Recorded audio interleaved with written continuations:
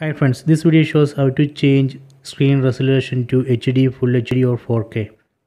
First go to settings, then select TV settings, then select display, then select screen resolution.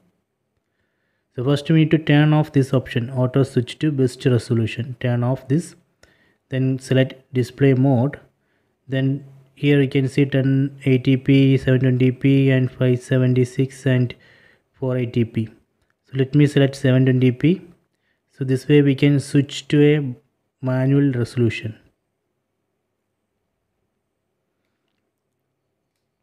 Okay. So if you don't know the best resolution for your tv you can use this first option. Just enable this option auto switch to best resolution. So it will automatically uh, detect one best resolution for your TV. So this way we can change screen resolution to HD, Full HD or 4K. So please try this.